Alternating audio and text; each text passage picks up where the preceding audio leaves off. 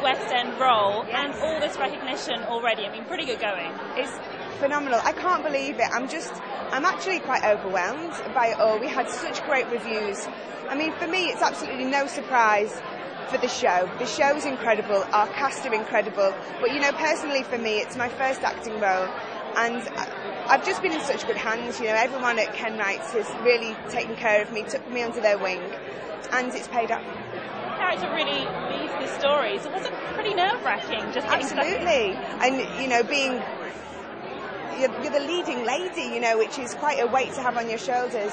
But um, I do have such a great supporting cast, you know, and they really have carried me through when I've, when I've been very nervous. You've been building to this point for quite a while, lots of smaller acting roles. Is this the arrival now of Mel C the actress? Well, to be honest with you, you know, I always, as a child, I loved acting, but it was singing that was really my, my number one passion.